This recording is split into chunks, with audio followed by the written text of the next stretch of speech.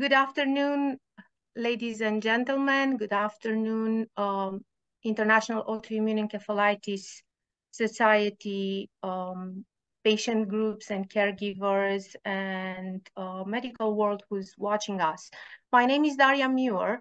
I am the Vice President of International Autoimmune Encephalitis Society. And today we uh, have invited uh, Professor Josep Dalmau, who um, doesn't need a lot of introduction uh, as he's the, the name associated with autoimmune encephalitis in um, all the world and um, who has discovered in 2007 the first uh, antibody, anti-NM, anti-NMDA, um, and basically put autoimmune encephalitis on the, on the table in neuroimmunology, who discovered 11 more uh, antibodies since then and who um, had a major impact on um, um, diagnosis and care and uh, management of uh, patients worldwide um, dealing with autoimmune encephalitis. His um, work has defined and transformed um, the field of autoimmune neurology and in 2023, he um, got the award of uh, scientific breakthrough from uh, American National um, uh, Neurology for his his latest achievement. He is head of um, um pathogenesis and autoimmune um, neuronal diseases in Barcelona as Hospital Clinic and IDIBAPS. And um, He's here today to uh, help us answer the many questions of the still very gray area of seronegative, or better to say, um, antibody negative autoimmune encephalitis. So, dear Professor Dalmau, you have the mic. Well, thank you very much, Dario, for this presentation, this introduction. And okay, let's see if I did this well. Just one sec. Share screen.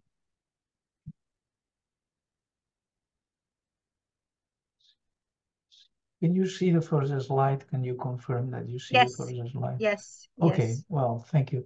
Well, th thank you uh, for um, inviting me to give this talk about seronegative autoimmune encephalitis.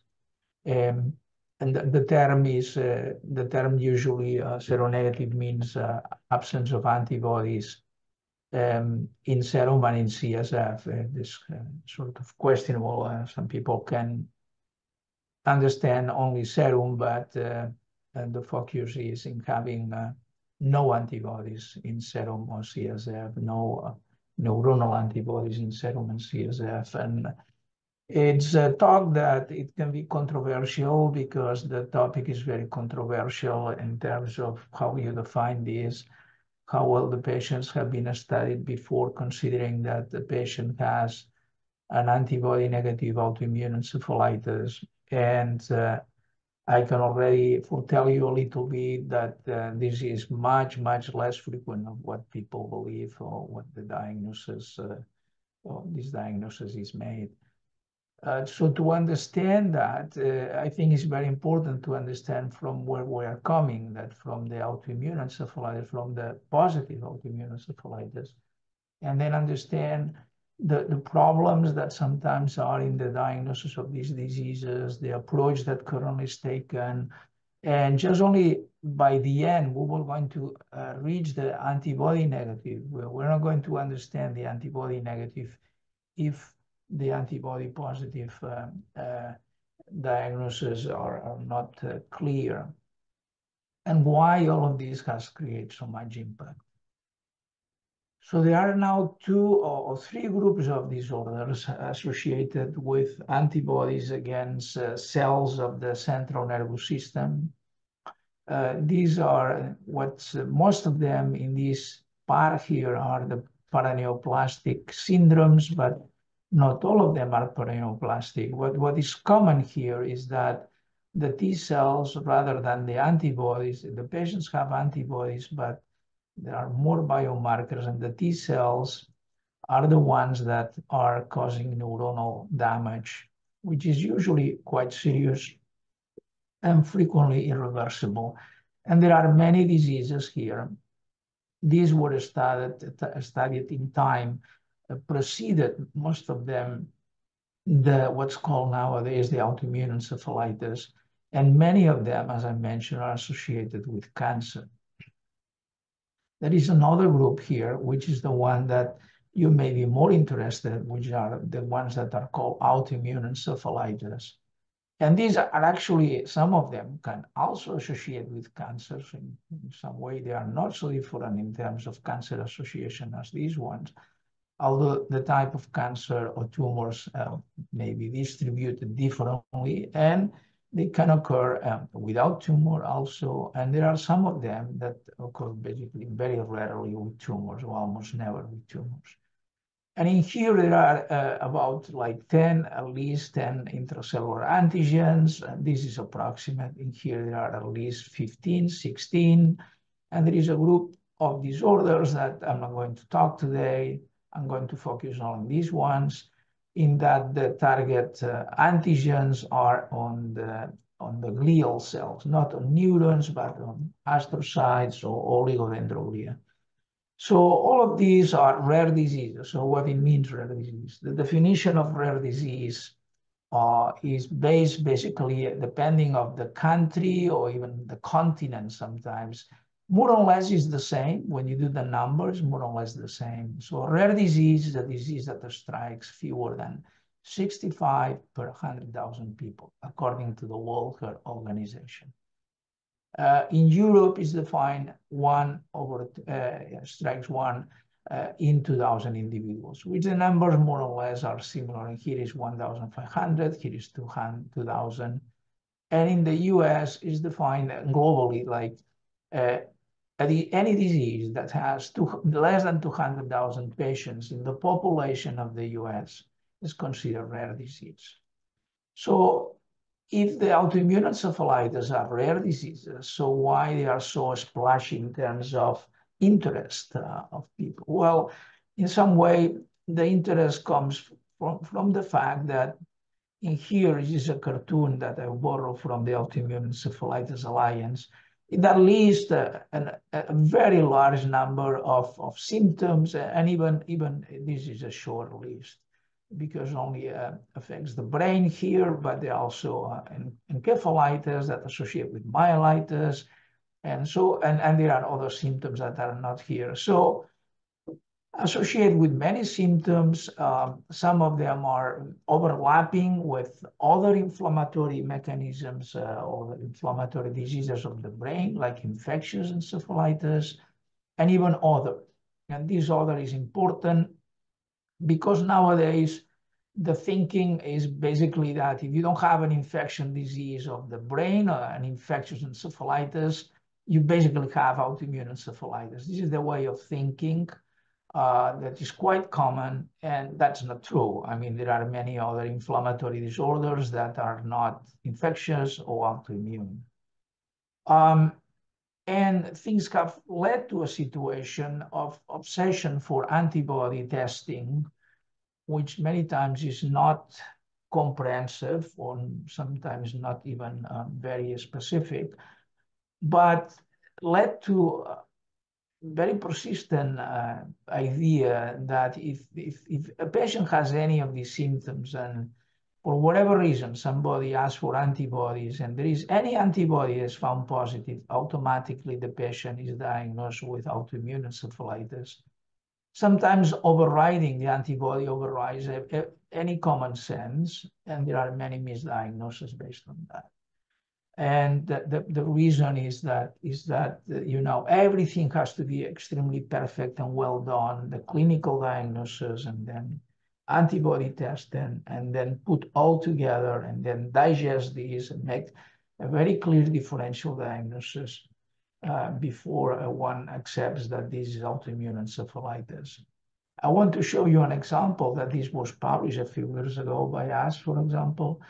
And this case and other cases of children that have autism, for example, autistic, typical autism, and somebody had the idea to test for antibodies and uh, an antibody, a false positive was found, and this young kid uh, was treated for more than two years with very aggressive immune therapy that is totally unneeded.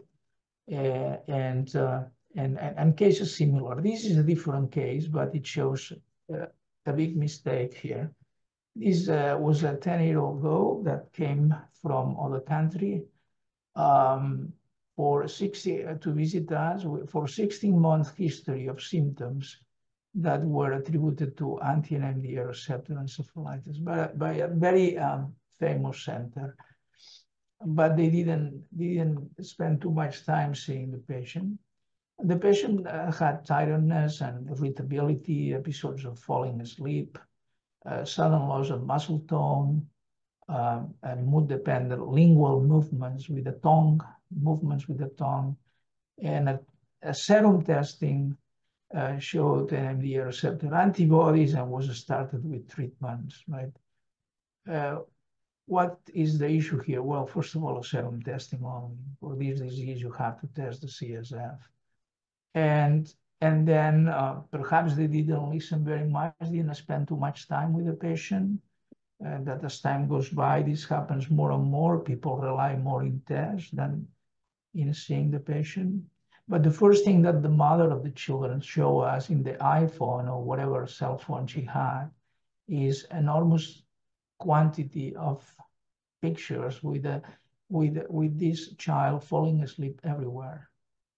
So here um, was when she came to see us.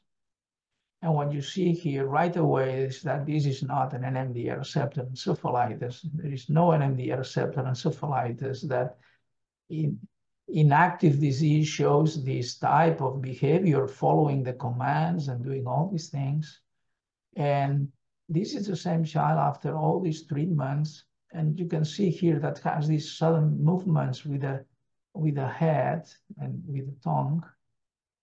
Okay, but she she is enjoying what she is doing. She's doing, and now when she when she laughs uh, in some way, sometimes also uh, Mrs. You has uh, uh, affected the muscle tone. So it turned out that this child uh, in polysomnography and multiple had had uh, alterations in a sleep, what's called narcolepsy cataplexy and everything, uh, everything, the clinical picture, the, uh, the genetic testing, and the search for levels of uh, protein that is a marker of this, that's called hypocretin, everything was affected. So this, uh, this is a child that let us, uh, my colleague Cesc Graus and I to think, well, we, we have to try to help uh, clinically speaking, to make the diagnosis of these patients. So this came uh, with a group of colleagues. Uh, we, we published this paper in 2016 about the clinical diagnostic approach. And the idea here, you, don't have to memorize these or you don't even have to look these, but um, the idea here is, okay, imagine that we as a doctors, we are in an island, that there are no laboratories, and if you, we want to, to, to check for antibodies, we have to wait a few weeks. So how we approach these patients, just only clinically, uh, you know, uh, visiting the patients. Uh, the antibodies are done in parallel, but we put them aside or we wait and we approach the clinical features. And then it came out with this algorithm uh, with, uh, you know, following the algorithm, you you know, some way you follow and, and you can make a diagnosis clinically on, on some steps, not all of them, some steps.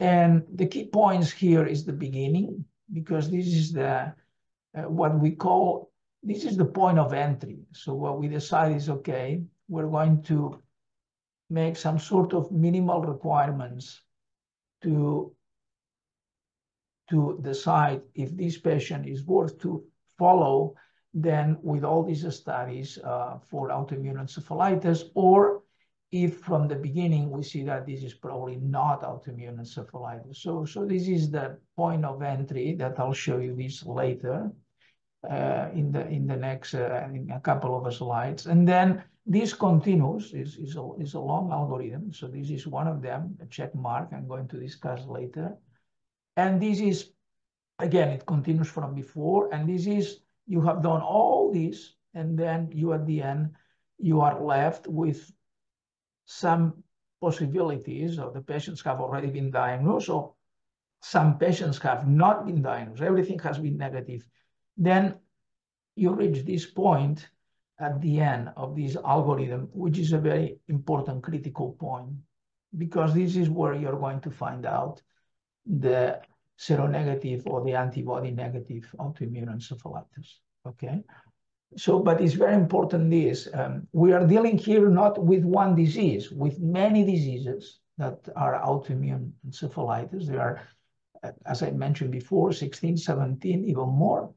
With many diseases, so it's not so simple as to make a criteria of one single encephalitis, know. This is not like a Walpolein 4 or MOGAD. No, this is, you, you're approaching the patient clinically and at the same time waiting for uh, the antibody testing. So let's go to these two points, the point of entry and the last point. This is the point of entry, okay?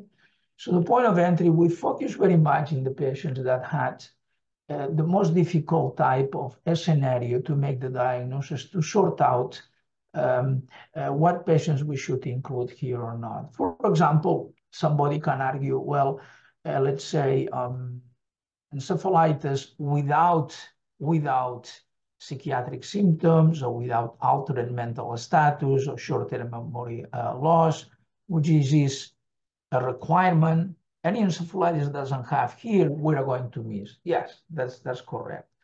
Um, but uh, there are not so many encephalitis without alteration of the mental functions or memory or psychiatric symptoms. There are not so many.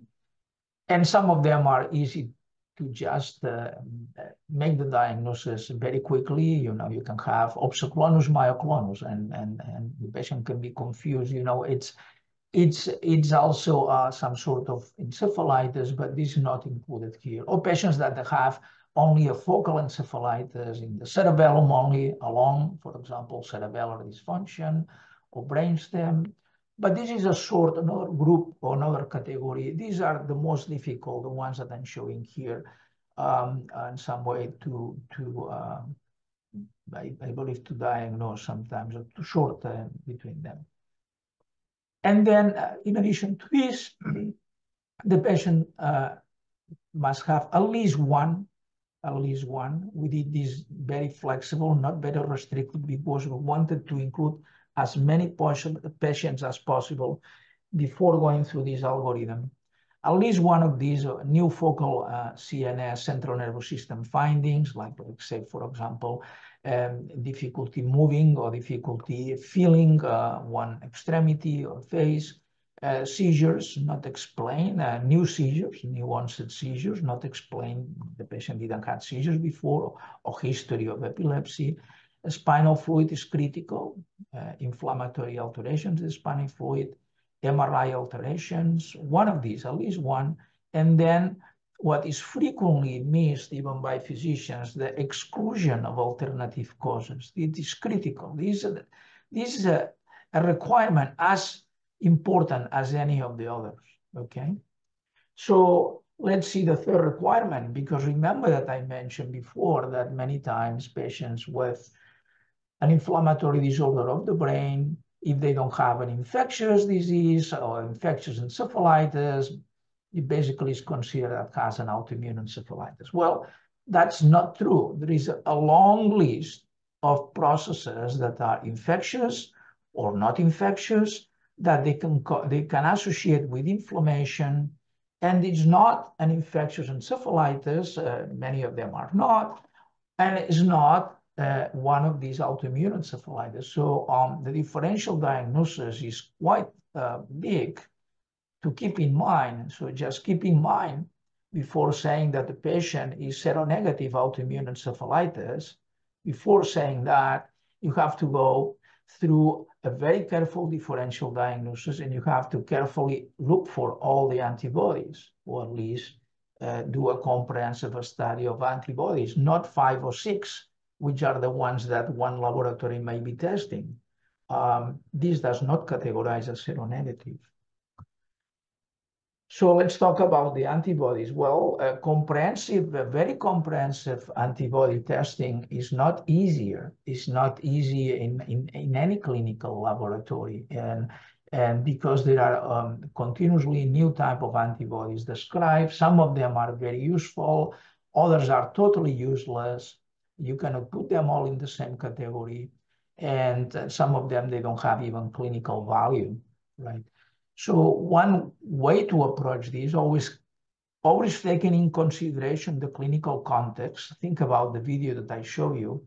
Patient is first, clinical history is first, neurological exam is first. Then they come the antibodies or the MRIs or whatever. This is first. Uh, so in here, you have to put this in conflicts, and then there are several ways to look for the antibodies. It depends on the type of antibodies. Uh, this would be, in our opinion, the best way with a tissue-based assay. But this is there are tissue-based assays that are commercially available, but they are not good. They are not good. Uh, I can be generalized about. I can generalize about this because we are completing a study now, testing uh, commercial uh, tissue assays. They, they are not very good, but if you if you have a good tissue assay, it's extremely helpful. And then depending on how they look, you can look for a cell-based assay to confirm what you suspect here or immunoblot if the, if the antigen you suspect that is intracellular. This is a good tissue assay, okay?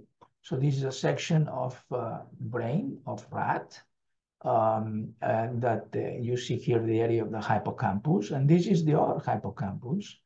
And what happens is this has been stained with or has been incubated. So in some way you take a section of rat brain or mouse brain um, is better than using this tissue that the human brain, because in the human brain, you're gonna put the whole human brain in a slide.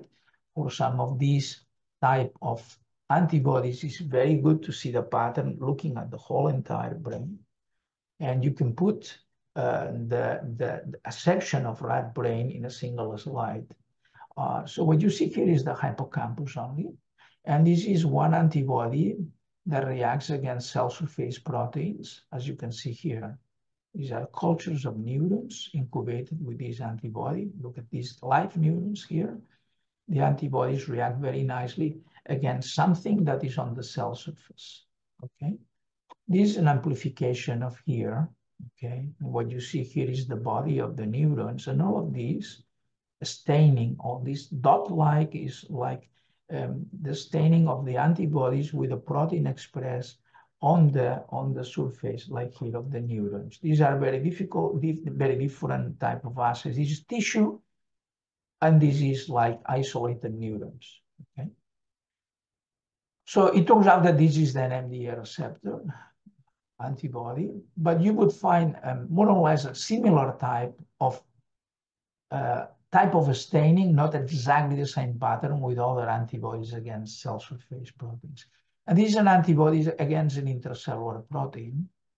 And what you see here is in live neurons, you don't see any reactivity because the antibodies cannot penetrate live neurons. And in here, um, the antigens are intracellular, so you don't see anything because the antibodies in a live neuron cannot penetrate inside the neuron.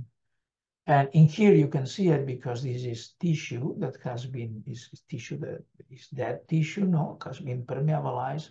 And you can see the antibodies, but the patterns are very different, okay? Um, so let's uh, uh talk a little bit now about uh, the, the, the diagnostic approach and then uh, how important is to look for the antibodies um, very, very, carefully. And, and you, you, can do, you can put this a little bit aside, but when the patient comes to you, you want to go fast. You more or less, you get the first impression. You don't have the antibodies until a few days or perhaps tomorrow if you do them themselves. Uh, but anyway, and then you can already make a, a, a, plan of treatment even without knowing the antibodies, even without having them. That, that was the idea of this algorithm. So what are the most common diagnostic errors nowadays that in our experience happen and people send us emails and etc. So the, the most common is the misuse of the of the algorithm that I told you. I mean, the algorithm has to be followed but continuously, all of it. Okay, you cannot stop at the first uh, checkpoint at the entry. You say, oh, this because it has these minimal characteristics, the patient has possible autoimmune. This is not the case. You have to follow all the algorithm. If not, um, it just doesn't make uh, any uh, any sense uh, to, to have it. So a lot of mistakes come from this. Uh, so people look at this here and they don't they don't even follow this. They stay here and they say the patient has these, and the patient has possible autoimmune encephalitis. No, no, no. The patient has the minimal criteria for considering that maybe an autoimmune encephalitis. So this is one uh, important uh, mistake. Uh, the other one is the problems in determination of neural antibodies. I'm not going to enter here because it's like two talks of two hours, basically each one the inappropriate differential diagnosis. So all these disorders to exclude are not excluded or are just look very superficially. And the literature doesn't help very much, particularly the literature in some fields like psychosis or epilepsy or movement disorders. There's a lot of literature on autoimmune psychosis. Like if this was a disease, it's like if I say autoimmune pain, there is no entity of autoimmune pain that you can have an autoimmune disorder that associates with pain, or you can have an autoimmune encephalitis that associates with psychosis. Um, so, uh, but there is the literature has been also um, uh, sometimes not very clear about that. So uh, all of these are um, words that I'm saying, and this could be, well, Dr. Dalmau is very opinionated about that, but in some way, um, uh, what I'm saying is reflecting the experience of uh, we and others have published. This is a, an article in that we were not involved. We actually wrote some uh, editorial comment uh, of these. The journal asked us to write an editorial comment, but this is the data of the article. This is 393 patients, um, uh, adults, with uh, considered to have autoimmune encephalitis and seen at six academic centers, considered academic centers of excellence of autoimmune on autoimmune encephalitis.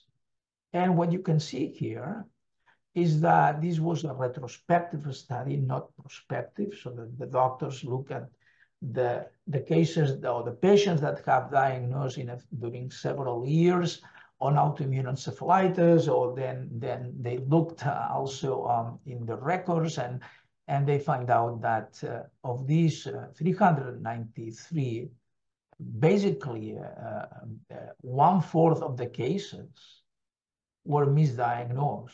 They were not even autoimmune encephalitis. This is in centers of excellence over seven years. There are several things surprising here. This is the big number of, of diagnostic um, uh, errors. Uh, and this is like only 393 over seven years in six academic centers, which the number is seems to me quite small. Now, um, these are parts that we analyze when the editors ask us to, to give our opinion. Um, and also the authors already pointed some of these. Uh, look, 72% of these misdiagnoses would have been avoided if the doctors would have followed the first two requirements for autoimmune encephalitis. So of this slide of the first checkpoint, there were three. The third one was excluding other, other disorders. If they only had followed the two first ones, 72% uh, of the misdiagnosis would have been avoided. Okay. 95% um, of misdiagnosis would have been avoided if they had followed all three. So they would not even have been considered uh, autoimmune encephalitis. then 50% of misdiagnoses uh, were caused by serum testing alone. So, uh, so that means that basically one of two, 50%, of course, uh, um, uh, they, they, they were caused by the misinterpretation of the serum testing. Now, if you had used CSF, uh, basically only 8% of misdiagnoses would have been made. Uh, so it gives you the extraordinary value of the CSF and autoimmune encephalitis. And when we interpreted this, the way that we do things here in our institution, basically, the basically by CSF, there would almost no misdiagnosis. Would have been, I think, that was like one. So uh, emphasizing very much the importance of examining not only serum but also CSF. And then what is important is that 25% of these patients have a psychiatric alteration, psychiatric disorder.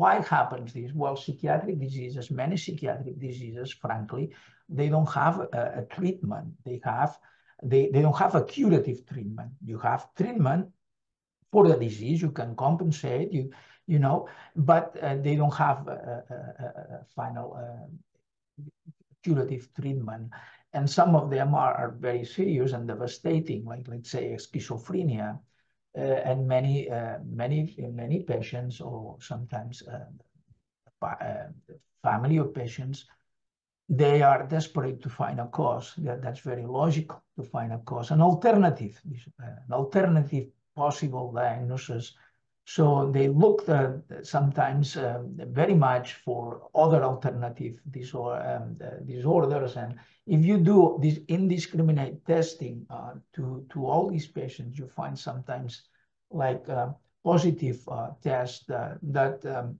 in, in, in, the experience shows that many of them are, are really not relevant false positives. And then, and then there is a problem.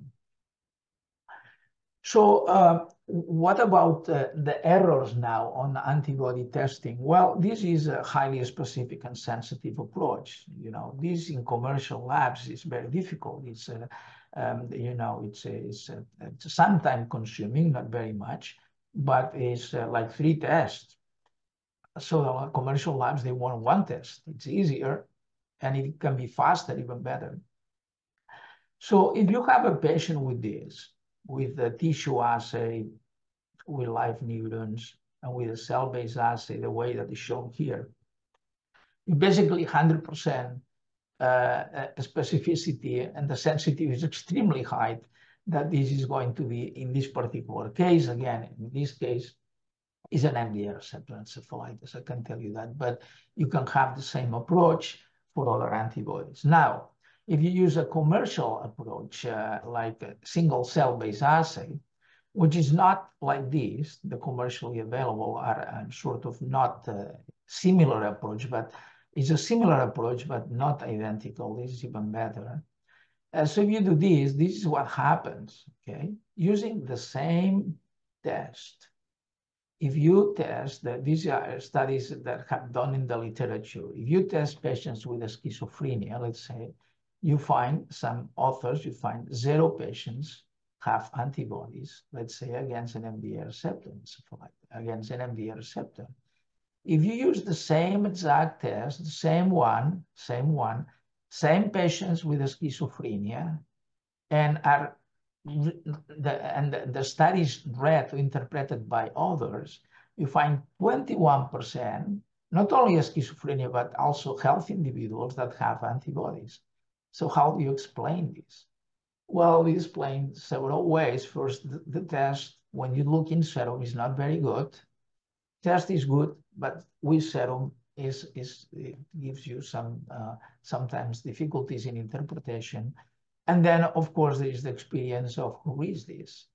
But this explains very much uh, the, the confusion that there is in the literature and I'm not going to go through these, but these are uh, some of the papers published, and you can find all this range of positivity. What's our experience? Our experience is that patients with schizophrenia, they don't have the antibodies of patients with NMDA receptor encephalitis. Is this is uh, our experience. They don't have the same antibodies. If they have antibodies, um, uh, this is, is different.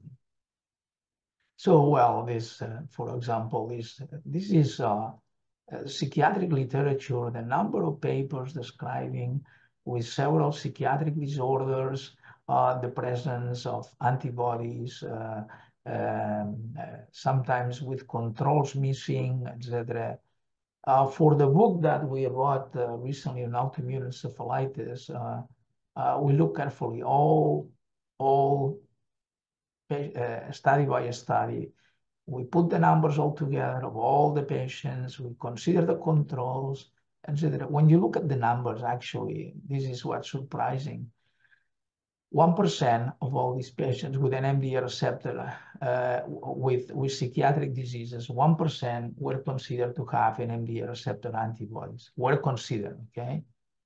Now, when you look at the healthy persons, 1% were considered to have NMDA receptor antibody. So all this literature is highly questionable uh, in terms of the value of these antibodies in primary psychiatric disorders. I'm not saying psychosis, primary psychiatric disorders. So, and similar problems has happened uh, over time with epilepsy. If you look at the literature a few years ago, the number of papers of autoimmune epilepsy were huge. The number of papers are extraordinary. Um, uh, more recently, this has disappeared because actually it was autoimmune seizures, not autoimmune epilepsy, actually. And what it means this? It means that in encephalitis, you can have psychosis, movement disorders, and you can have seizures. But when the encephalitis is treated, the seizures go away many times, not always, but many times. And what defines a patient to have epilepsy is that epilepsy is an enduring disease with chronic seizures. So these patients don't, don't many of them don't qualify for autoimmune epilepsy. They have autoimmune seizures. The same as you have an infection of the brain, you have seizures. The infection is treated and cured, seizures are gone. Not always, but most of the times. And the same happens with other symptoms. And uh, well, then uh, I mentioned that uh, uh the autoimmune or the seronegative autoimmune encephalitis or the autoimmune. I, I prefer to talk about or, or, or use the term antibody negative autoimmune encephalitis. Um, it's uh, it's it's a new problem. A new problem emerged because nowadays um, the extraordinary number of patients that or, or, doctors that they sent emails and sometimes asking for opinions or even papers published about seronegative antibody negative or seronegative antibody negative autoimmune encephalitis is too, too high.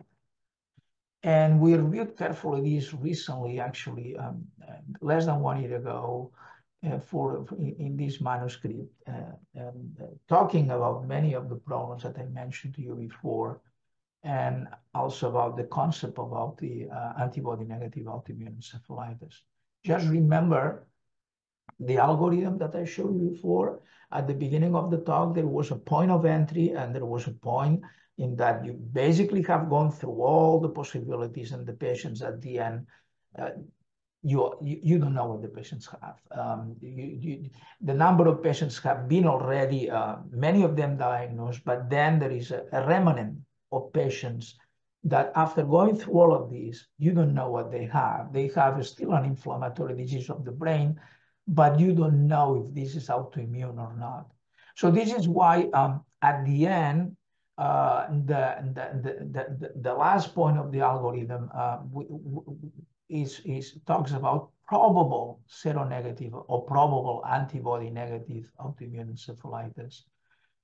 And in here also we made a requirement to consider, well, the patient may have probably seronegative autoimmune encephalitis is after all this work by the physicians, all this work, clinical work, to going through the differential diagnosis, you have excluded everything else, then if the patient then has these criteria, right, the, the rapid, uh, similar to the initial one, rapid progression of memory problems, altered mental status, psychiatric symptoms, exclusion of other diseases that are already in the algorithm that uh, are typical, maybe negative, but they are typical uh, autoimmune, autoimmune encephalitis, like limbic encephalitis. And, and then um, you have to demonstrate that there is inflammation of the brain, but here you have to be very sure that there is inflammation of the brain before characterize that the patient has a probable uh, seronegative or antibody-negative autoimmune encephalitis. And then on top, we have all the exclusion of alternative causes. So, um, so which are the misdiagnoses of, uh, of seronegative autoimmune encephalitis? When you do all of these and you reach at the end, and you may categorize that these patients have a seronegative autoimmune encephalitis. Uh, if we analyze the most frequent errors, which are, which are the most frequent errors? Well, first of all, is again to not have used well the whole entire algorithm or the criteria that I just show you here. Uh, here there are four points of the criteria. Remember these because then I'm going to get back to this. Okay, so this is one one cause. The other one is that, of course, there are autoimmune encephalitis that um, occur or they evolve um, uh, more slowly than, than, than three months. So some encephalitis uh, sometimes evolve slowly. LGI1 could be could evolve slowly, or CASPR2, or IgLON5 can evolve for years. But you, you have to keep this in mind here. This is more for the a rapidly progressive autoimmune encephalitis. The other ones are less frequent. Other presentations, like a chronic form, is much less frequent, except for IgLON5, which is characteristic uh, uh, with a uh, with a long progression. But the, the clinical picture is, is different from this one with IgLON5. Um, uh, predominate some some uh, sleep uh, alterations, and also they can present with uh, sometimes looks a neurodegenerative disease and so on. So it has been well described. So the physician should know this and only not rely only on the um, on, on an algorithm only uh, without having any experience of putting everything together. So uh, then one problem is that, uh, well, um, you have followed these and you have tests for antibodies, but you have not tests for all the antibodies. So for example, until recently and still nowadays, in many uh, laboratories, they don't have GABA A receptor uh, antibodies tested, or IgLON5. Uh, until recently, um, basically all the IgLON5 came to us. Um, now, now uh, there are other uh, centers that they, they do that. Uh, the MOG, now the MOG, everyone basically is doing it because it's a very hot type of group of diseases, the MOG, the MOG syndromes. But then there are other entities that are mixed sometimes with uh, with this group of encephalitis, but there are different type of disorders. Some of them you don't know very much the cause of them, like uh, NORSE, uh, new onset refractory status epilepticus. This should be a diagnosis by exclusion of of any other um, uh, autoimmune encephalitis. It's not a specific disorder. It's is, is probably a mix-up of disorder. The thing that they have in common is that after sometimes an infection, patients present uh, with uh, febrile, uh, febrile um, episode. The patients present then with uh, seizures, uh, refractory seizures.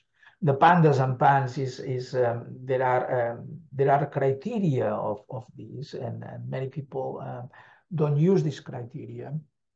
But when when you compare carefully the, the, the type of autoimmune encephalitis that we're talking today and the, the PANDAS and PANS, um, the, the, the, clinical features are, quite different, actually. Uh, the Hashimoto encephalitis is another entity that some people even question the existence of this Hashimoto encephalitis.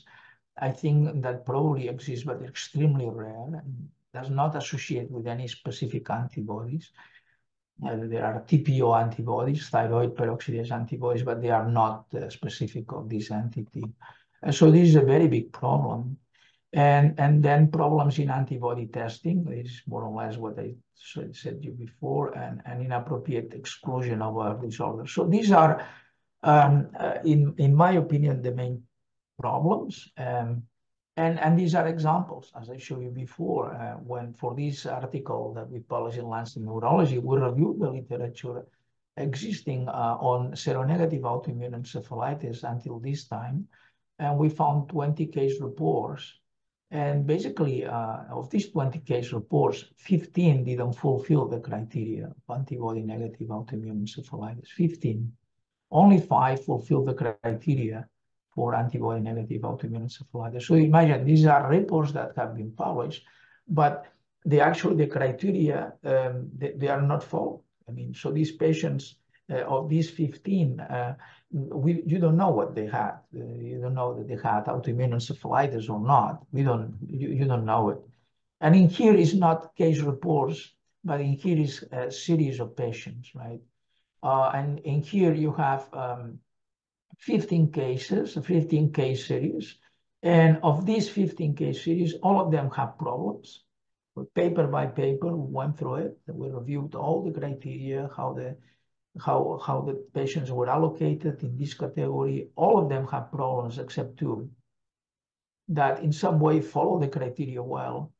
And in one, the, the, in one, they didn't find actually antibody negative seronegative uh, or seronegative autoimmune encephalitis. And in the other, they found 44%. So how do you explain that from 0 to 44? Well, in here, the antibody um, screening was much was more comprehensive than in here. So that's that's the main explanation that we found.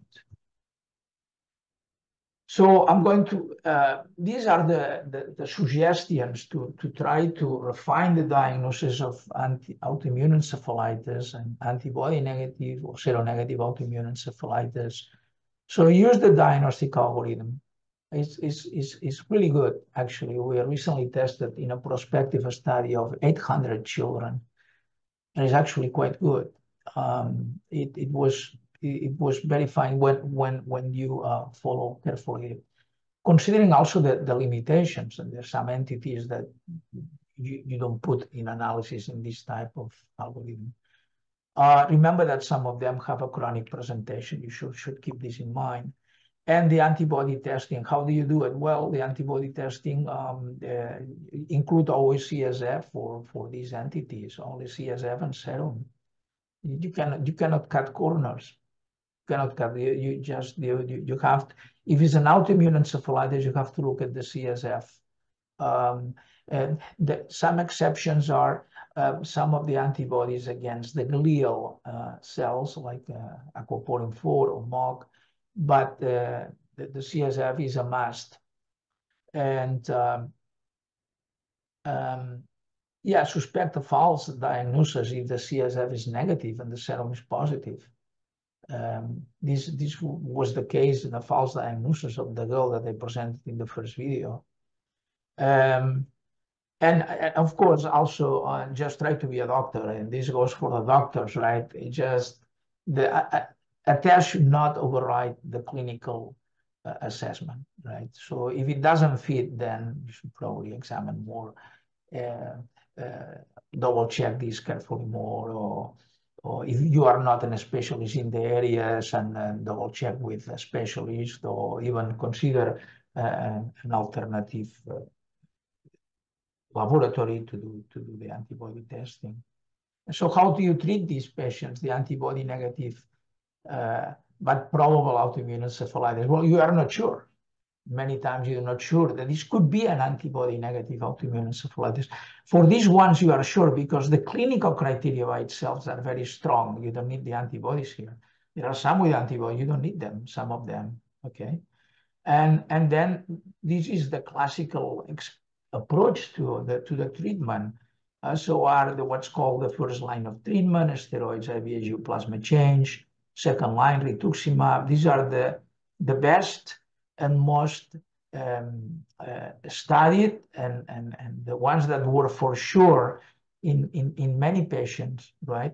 Um, uh, first line, second line has been perpetuated in the literature, but in some way rituximab should be probably a first line uh, of treatment because very useful. Cyclophosphamide is very effective also and is, is much less toxic of what people believe because many times you just only have to give just a couple, two or three pulses of cyclophosphamide.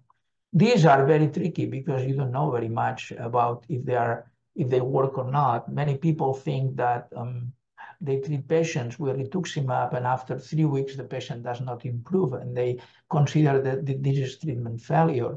And that's not the case. Is that some of these diseases there is a lack of of response, and many uh, well many there are not so many so many cases published with bortezomib, tocilizumab.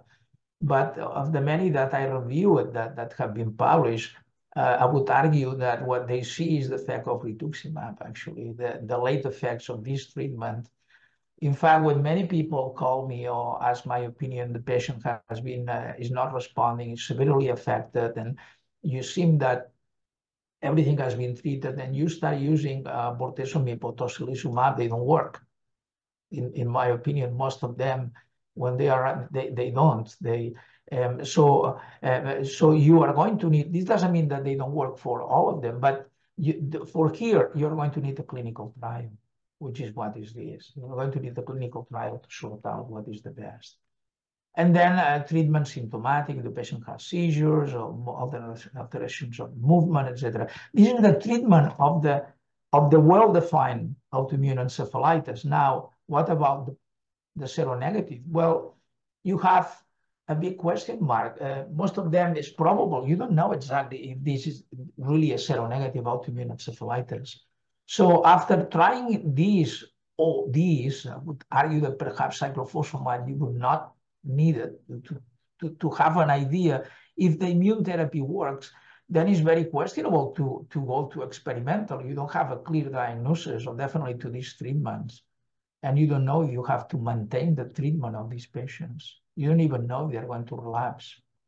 So there are many uncertainties about the treatment, and this is why it's so important to do a good, uh, a good diagnosis. So what are the future directions? Well, educate physicians and, and patients about seronegative autoimmune encephalitis.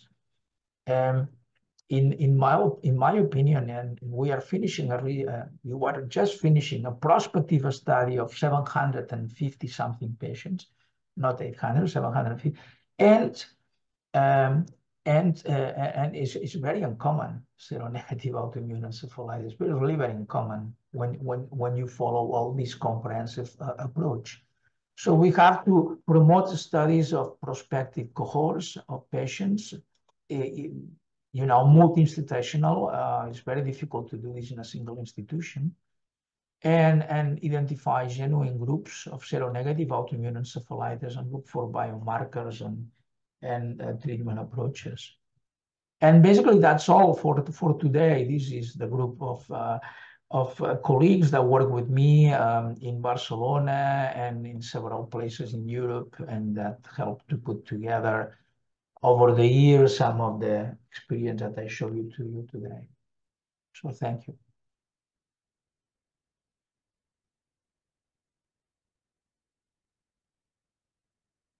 Thank you very much, Professor. Uh, it it is we have a lot of questions, and I've been trying to to um, make um, a short list of them. Um, it's it's literally tens of questions to question Q and A's and on on the email. Um, one very technical question involving tissue assay. If you work with with rat brain, is the risk of you have the risk of false negative due to species uh, specificity and if your uh, test is positive um, does it um, is it really seronegative or zero unknown? No with uh, I mean, with all the tissue assays, you need a complementary uh, confirmatory test. You I remember uh, we, we are talking only doing one test, but doing at least two, a, a tissue assay and a confirmatory with a cell-based assay. And if then, if uh, you, for example, find a, a tissue assay that is positive, but all the cell-based assays are negative, then you may think that this could be uh, a new antibody or perhaps an antibody not included in the cell-based assays, and then you can proceed with additional studies with cultures of neurons and so on. But this is only always done in a in a context of a research laboratory. Um, then in terms of the uh, uh, rat brain or, or, or, or, rodent brain, I mean, uh, the, the proteins in the human, uh, in the, the, human proteins and the human, uh, and sorry, and the rodent proteins are, many of them almost identical, very, very close, similarly in sequence. So in my opinion, the advantages of, um, you, you have the risk of missing uh, antibodies that are not described yet, and they may be only expressed in, in, in human brain. There is, there is this risk of, there is a theoretical risk, and it can happen, for example, with some MOG anti, some, uh, some types of MOG antibodies. You don't see it with, with, with blood tissue. Um, um, other epitopes you can see. However, um, the advantages with the tissue um, assay uh, is um, with with the rodent uh, brain is that is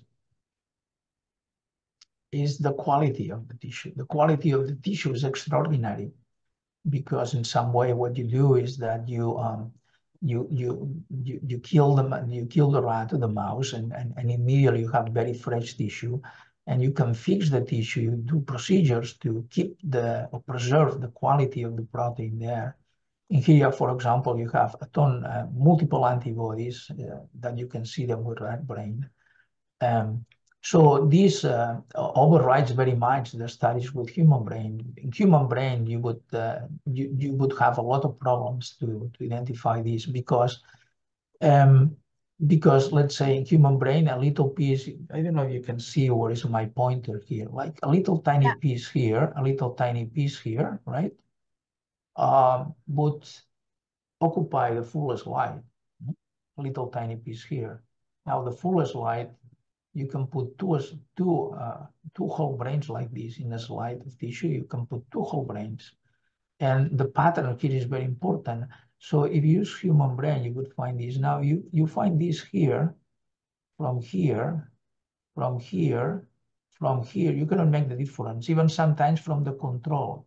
If the control is a little bit dirty, even um, in this case, no, but if you see it, you cannot differentiate. So uh, the tissue assay has um, a lot of considerations. Um, I think that all of these can be seen with rat brain or rodent brain and uh, has many advantages in terms of the quality preservation of the, of the proteins If the human brain is uh, fixed, then uh, it's, it's, it doesn't, doesn't, doesn't preserve this quality.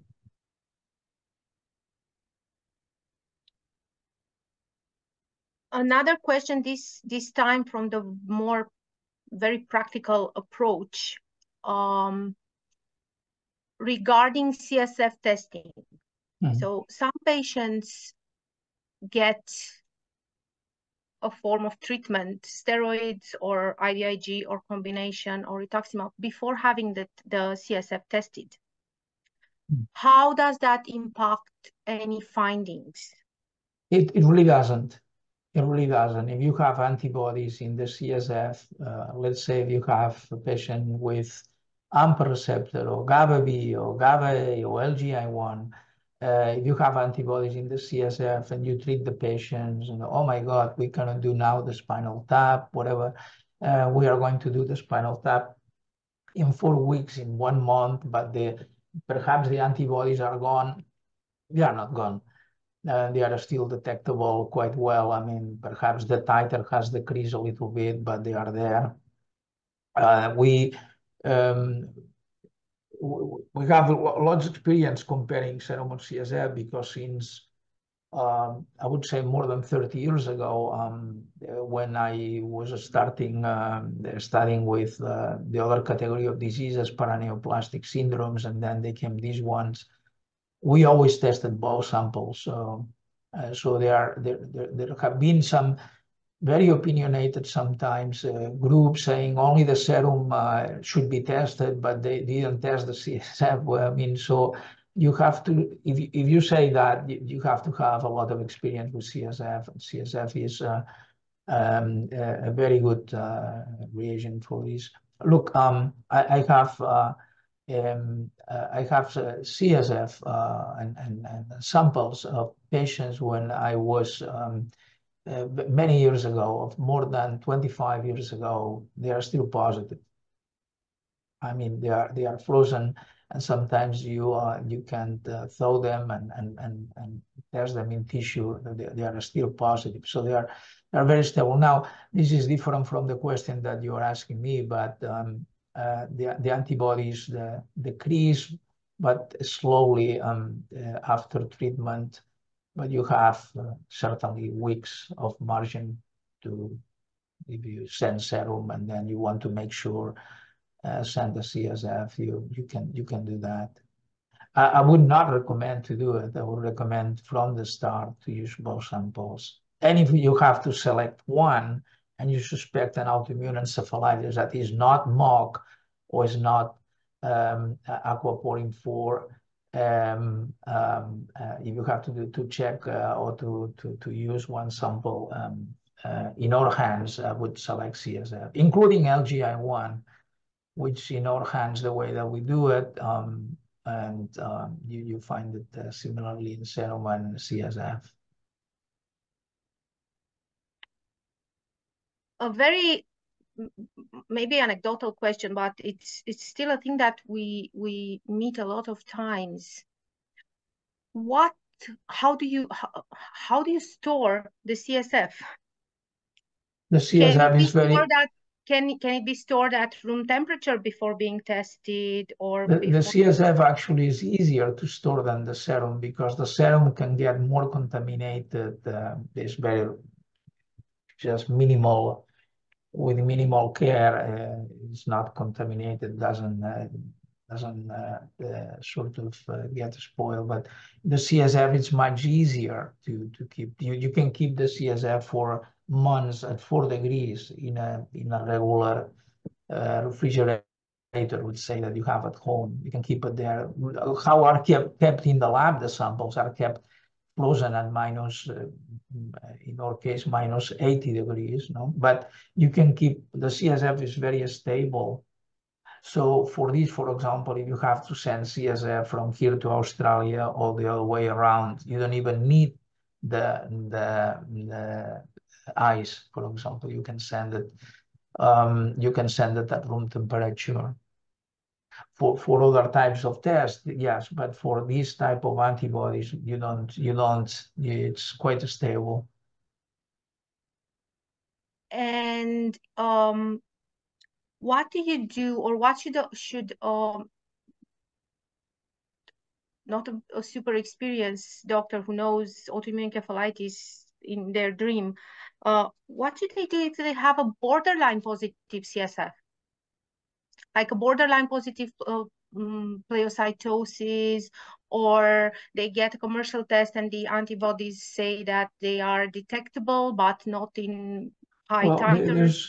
It's important to keep in mind that the CSF uh, by I mean the CS, CSF is a test that is done in many different situations, not only in autoimmune encephalitis, you examine CSF in other types of autoimmune diseases, in in diseases that are not autoimmune and diseases that are infectious. So the CSF is a common test that the neurologists do in many different diseases, right?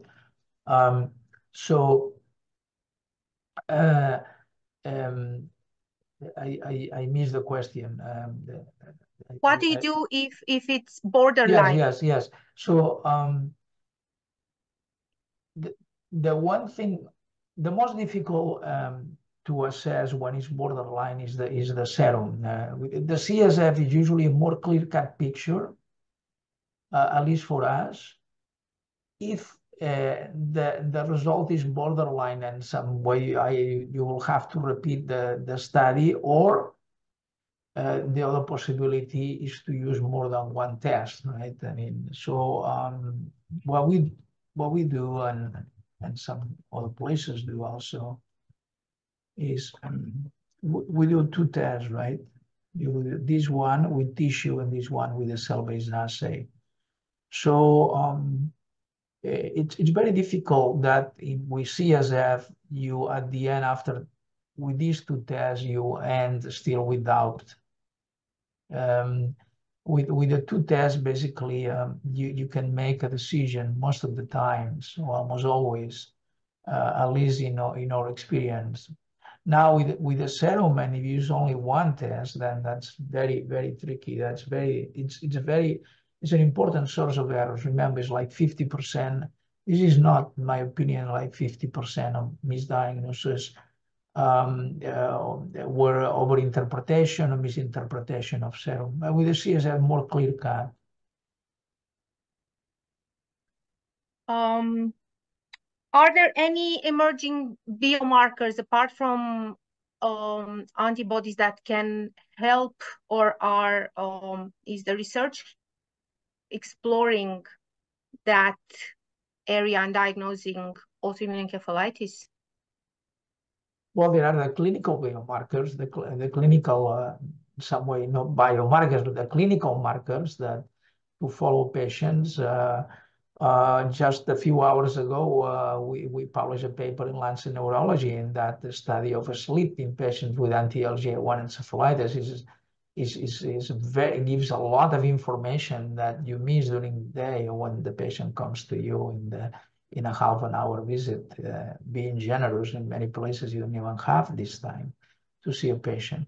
Um, but the video polysomnograph, uh, the, sleep studies um, reveal a lot of problems that are still the patients have like for example, uh, facial dystonic seizures that people believe that they are only at the beginning. Well, that, that's, uh, yes, they are at the beginning, but there are also some remnants later on, sometimes even months, um, when you do sleep studies, the same as some seizures, um, uh, sleep uh, dysfunction. In LGI1, in other diseases, not, okay?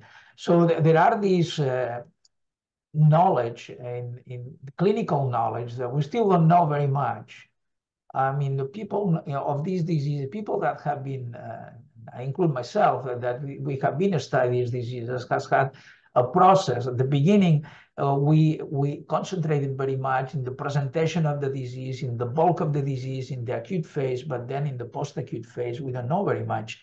So it would be good to have these markers or biomarkers that could be study of sleep or study of EEG or, or some special um, studies, not, not the classical MRI, which could be helpful, but also MRI with uh, more advanced uh, type of sequences and imaging, right? To, to put an example, then in terms of more biomarkers in the serum and the spinal fluid, well, they are complementary biomarkers depends of then the clinical situation of the clinic or the, or the disease. For example, uh, we found that was useful in patients with uh, psychosis with at the beginning patients with pure psychosis that they they can they can follow the track of being a primary psychiatric disorder when you follow these patients or it can be the presentation of anti-NMDA receptor encephalitis. We found that in this clinical situation, the neurofilaments, the neurofilaments was useful, was complementary, was useful. Now, neurofilaments in other autoimmune encephalitis and other settings, probably not, because they are going to be elevated anyway, um, most of the time. Uh, so this is one, we recently examined biomarkers when exploring uh, what's called nanostring, exploring uh, genetic activation um, of, of several, uh, the activation of several genes um, uh, uh, in the context of viral encephalitis versus autoimmune encephalitis. Um, and, and this, this could be a good biomarker for when you have to differentiate between a patient that has herpes encephalitis and a few weeks later still have symptoms. Is this autoimmune or still herpes encephalitis? So there is a biomarker that was recently published that uh, that's it's, it's called nanostring. It's very sensitive. Um, there are tons of studies about cytokines uh, in, in, in, in, the profile of cytokines, but I found them so far not very useful because they are always altered in any type of inflammatory disorder or most inflammatory disorders of the brain, whatever cause, uh, if it's autoimmune or not. Um, but but the the things go in the, in that direction, right? Um, uh, immunophenotyping the cells, so find the profile of the of the cells that are of the, the cells that that in some way uh, form part of what you call the pleocytosis. Now there is distribution B cells, T cells, some types of cells, uh, subcategorizing these cells, but uh, some of these can be useful in the future. So find uh, is still active research. And it may turn out that is not useful. It may turn out that it doesn't separate very much one disease from the other or doesn't tell you very much what's going to happen to the patient later on because you know you have an inflammation of the brain you may have uh, uh, these uh, um, uh, alterations uh, no matter what the cause is a question that we often get this time from the doctors.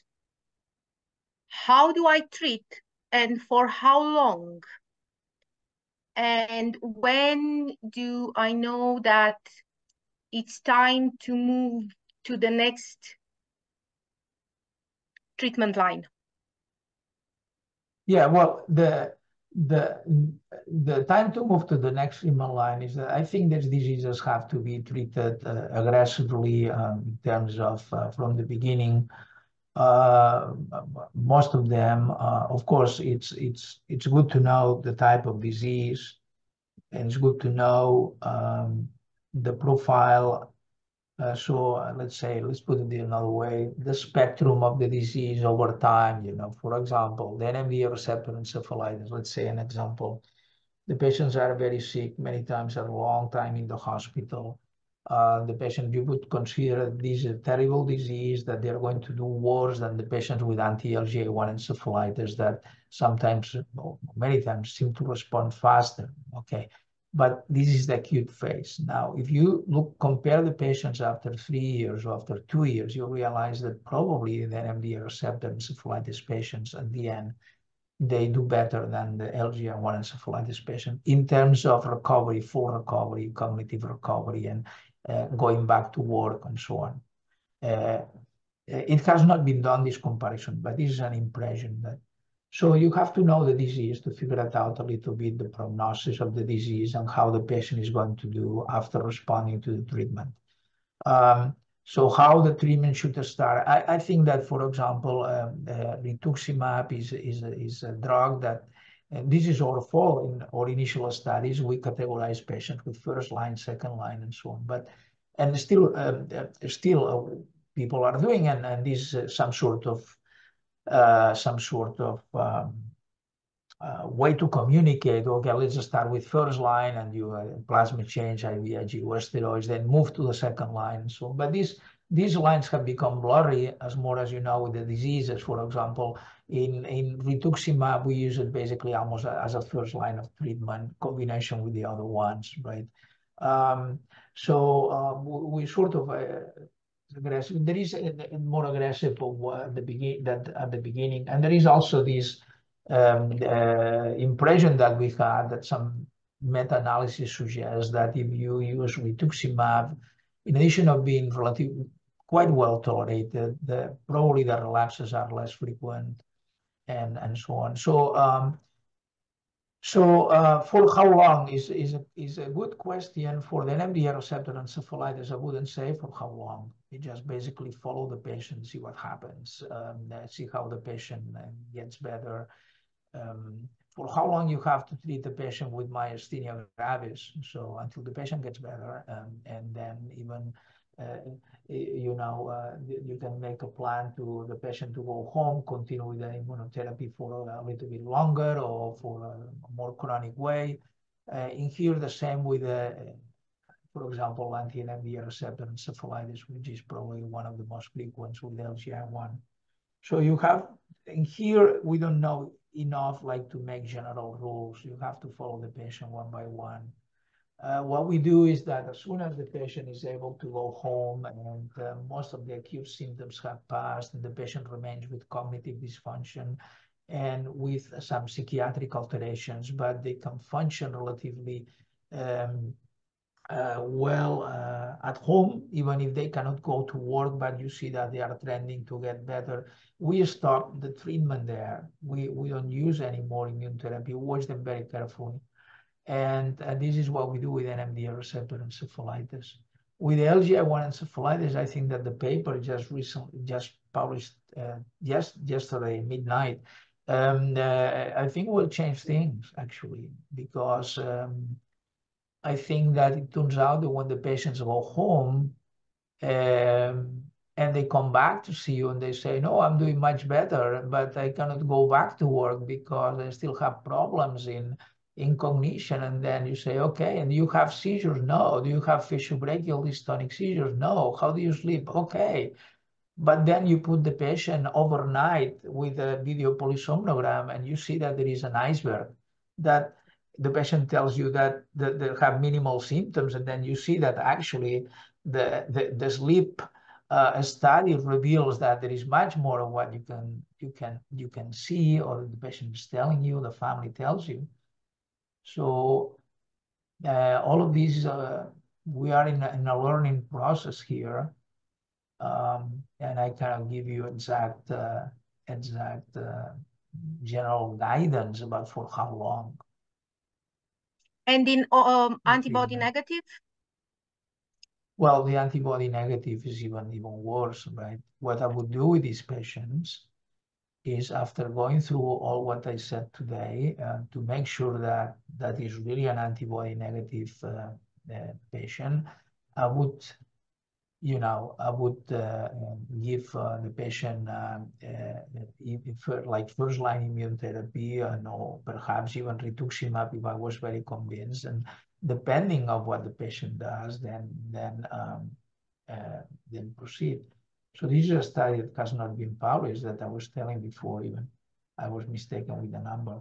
So this is seven, seven, I'm sorry, you don't see it. Sorry, sorry, sorry. Let's see that. Um, here. So this, this is prospective. This is a study done for uh, uh, now for several years um, on children. It's uh, 129 uh, patients with initial suspicion of autoimmune encephalitis. Now, what is special in this paper? Well, that every single patient has been followed very, very closely over all these years. And, uh, and this study started before the algorithm was published. So we know everything of patients. So we know exactly where we, this is done several years later, where the diagnosis was missed, where not missed.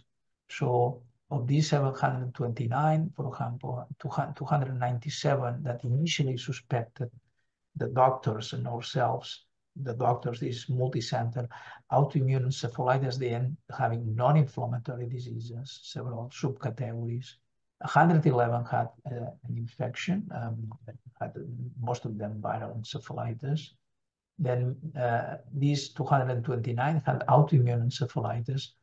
And of all of these, there were 92, that's 13% only, that had inflammatory diseases that we didn't know the cause at the end. And when we dissect these, actually, the number of probable autoimmune encephalitis was even smaller. So when you do a very comprehensive study, the number of auto, seronegative autoimmune encephalitis is not so big. So what, what we do with these patients, uh, you are not really sure. There is no biomarker that tells you this is autoimmune encephalitis, seronegative. there is none. I mean, you don't have to. Um, so you, are obligated to exclude all these possibilities and, and then after this, then uh, suggest uh uh, a treatment. So I would do an experimental treatment, like a, a, trial of treatment for, for example, three months and see how the patient does. Patient gets better and gets cured fine. The patient, the patient gets cured, um, oh, sorry, is, is, getting better. would continually to be longer than three months. Um, um, why three months and not four months? Uh, that's something for the future, right? That that's when uh, you know the combination of everything enters and the experience also uh, enters. You have then to follow these patients closely and think about that. um, that some of these patients improve spontaneously. You know, you give minimal uh, treatment and they get slowly better. So you have to put also this in context. So the, the treatment and the evaluation of the seronegative autoimmune encephalitis is probably the most tricky one that exists nowadays in, in this in this context. How do doctors that don't have access to uh, like they, they only have access to to commercial kits you said get in contact with the with the research or send send send samples to a, a yes, research well, lab. Well, look, I mean, this is something that people have to be very clear about this. Um, it depends of the age of the patient. You have a patient that is uh, in the pediatric age. If the patient, basically, we have done now two studies on this. This one has not been published. The other has been published with more than 2,500 children. So in, in children, you don't need all these panels of antibodies that the commercial tests do. You basically don't need them. You know, in children, somebody can argue, okay, there is one patient that I saw, another one is published in the literature, etc. But this is not how medicine works. You know, I mean, uh, do, do, do you have to see the whole entire picture here. In children, if you test for MOG and you test for NMDA receptor antibodies, basically, and these antibodies are negative, the possibility that there is another antibody in children uh, with autoimmune encephalitis is quite, quite low, okay? Uh, very difficult to find a child with LGI1 or with CASPR2. There are cases reported, yes, of course, but um, um, in this case uh, series of 2,500 patients, like basically uh, only 10% of them um, uh, of the of the of the positive have other antibodies. 2,500 suspected autoimmune encephalitis in children. Uh, there were like basically only 2% that have uh, antibodies at the end that were not NMDA or MOG. Uh, um, and, and there were about the, they, they were 10% of all the positive. So it depends of the age of the uh, of the age of the patient. Um, you may find an antibody or not, which is important. So all these panels, extensive panels that you have, all these paraneoplastic antibodies applied equally in children and adults, I think that this is a source of errors, frankly, and I think is an expense that is not needed. So in these particular cases, I would carefully evaluate the child with with uh, clinically and then test for the most probable antibodies, one of these two. If these two are negative, yeah, okay, you can go for the other ones, but the possibility is remote. In adults, is different. There are many, there are many other antibodies to keep in mind. So when you test this, what um, in, in, in, in, in, in any hospital small hospital, hospital, they don't have these facilities what you should do when, first of all, make sure that you test CSF. Okay, make sure that you test serum and CSF. You find an anti, you are not sure, but serum has been tested, CSF has not. Make sure that the CSF is sent. This is one thing. Then uh, make sure that the laboratory test for an antibody that is reasonable that you expect um, for uh, for uh, for um, for the clinical picture of the patient and if you still suspect that the, there is an antibody and, and, and the, the, the, laboratory tells you not, then probably call the laboratory or, or, or look for a, an alternative, more, uh, more research-oriented laboratory. I, I cannot tell you more uh, about, about this particular situation. Um, remember, the algorithm was originated like this. Think, think about it that we don't have any lab and how we approach these patients of course, it's much wonderful if you approach these and you have the lab, you know, by the door, but um, that's uh, sort of the, the real thing is you you, you does the hospital does the hospital you work in take uh, accept requests from other countries? Yes yes yes so they can they can yeah this that. has all this has always been done like that. So um, they, they, they are done this uh, following a combination of, uh, of tests that um, include the, including the commercial tests, but including also some in-house tests. And the, the most common, one of the most common uh, requests nowadays is the, precisely this, you know, is just to uh, physicians that are or family members that are uh, although basically we communicate with physicians more family members sometimes are very is, is very is a, is a very difficult situation sometimes because you don't have so much the clinical details and the families even they don't have them. So the best thing to do is is communicate also in, engage also the, the physician right? So then uh, uh, then uh, do a comprehensive analysis. Um, so actually we we do this yes we have like a board every week in that clinicians everyone is involved and discuss every case and so on. And people that from other yes from other countries they send uh, they can send the samples here to to to the labs and they can even present the patients via via zoom or via video and they can even do that so. But I, I think that this is we have been doing this for many years and and and and, and we we it's a little bit routine for us but i think that is also um, done in, in in some other centers also to be honest with you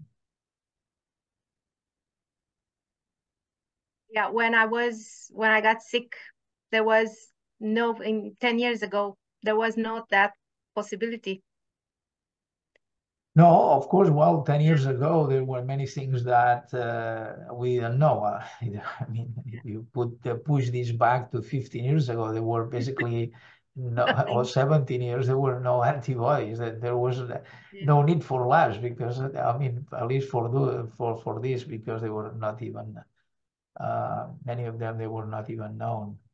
Yeah, this is a this is one thing uh, that the the field has evolved very fast and uh, and and and and the, the caveats and, and pitfalls and, and tricks and the best way to do things have been so, so fast that that um, that sometimes has to be put in order, right? And, and, and to reassess everything. So that's uh, this is where we are. The question keep the questions keep keep coming in, but out of uh, respect for, for your time, I think I'm going to stop it now unless you want to take one one more. Well, I mean, yes, no, no problem. I can continue for 10 minutes more. Um, I mean, I'm currently in Spain, so it's 7.30 in Spain, 7.29 in Spain. So I, I just, my day is uh, is in some way uh, finished. I don't have to go to see patients or to do anything else. So it's the end of the day, so you can you can ask questions. Thank you very much. Somebody is asking if um, seronegative autoimmune encephalitis is more critical and dangerous than compared with other type of antibody positive um, I, I, I, I don't know about this. My impression is um, basically um, uh, not necessarily in some way can be even.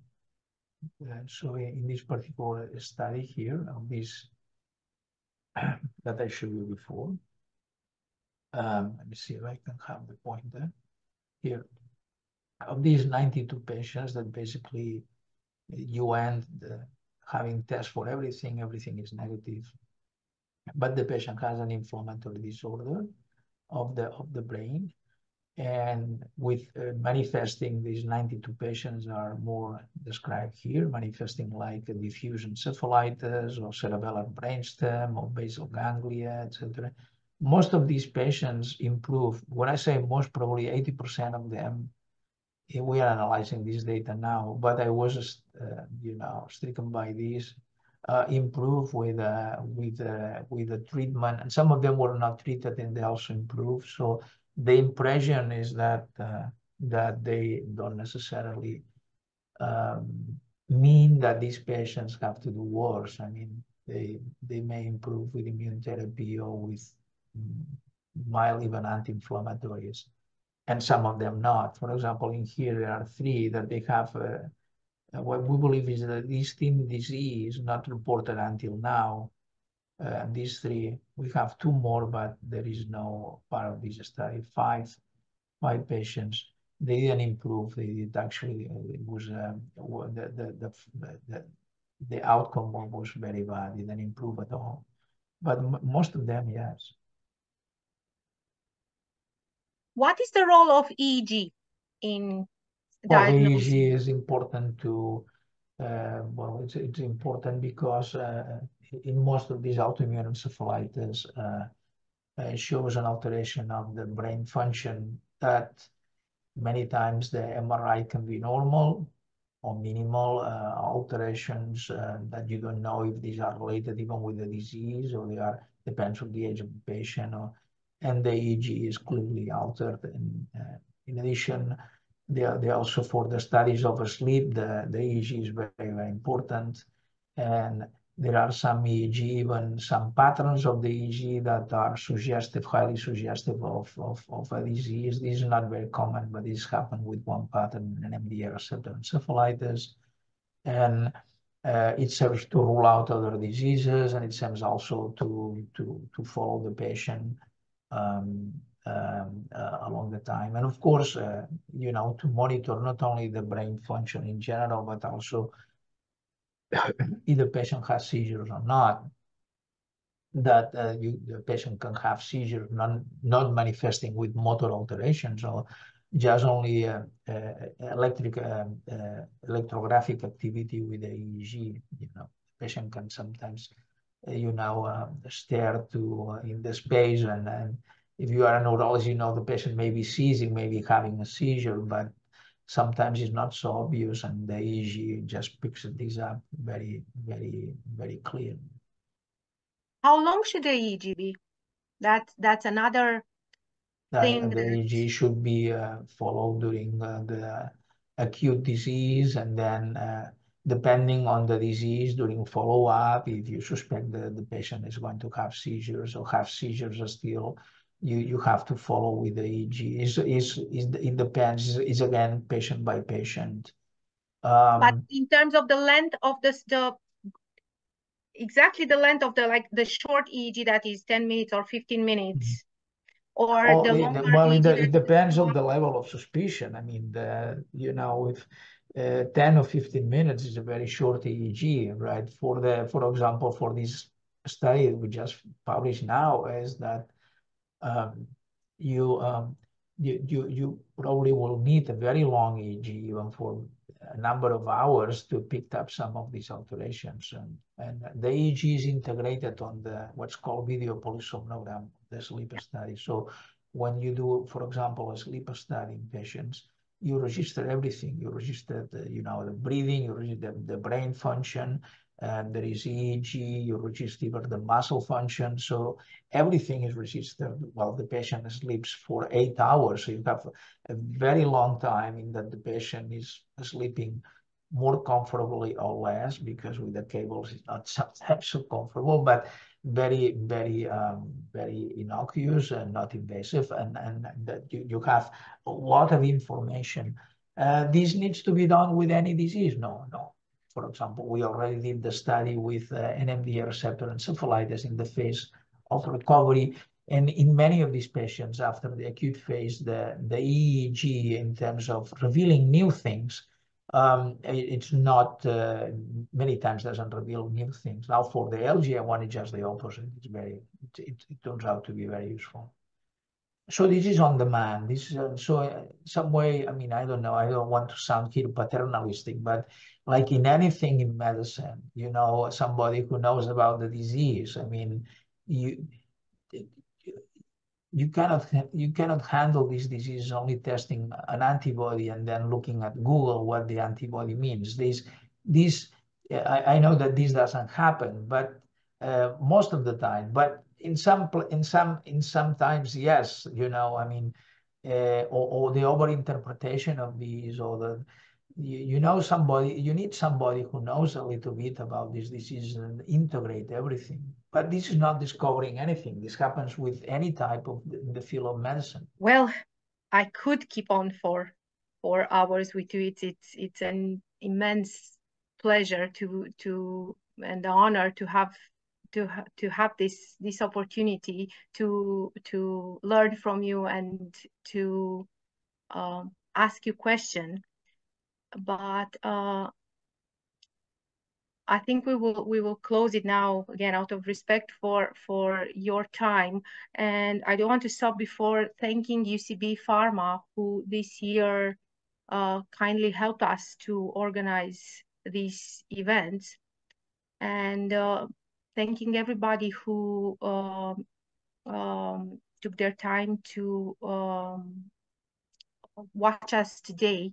And again, thank you again so very, very much for everything that you are doing in neuroimmunology and for everything that you shared with us today. And uh, I hope you have a, a, great evening and looking forward to read the new paper that was published last night. Well, thank you very much uh, to to you and, and to the people that have been in the audience. I have no idea how many people have been listening, but I hope that, uh, I mean, I hope that uh, what I, I, I, said today um, help uh, in, in some way um, and to, uh, to put a, a, little bit of realistic uh, thought, uh, in my opinion, to the concept of uh, seronegative autoimmune encephalitis. And again, nothing is uh, completely sure at all. You have to keep an open mind. This is an evolving field, and uh, but mm, I mean the impressions that I discussed today and sort of substantiated uh, by by the literature of experience of others and ourselves. So thank you very much uh, for inviting me.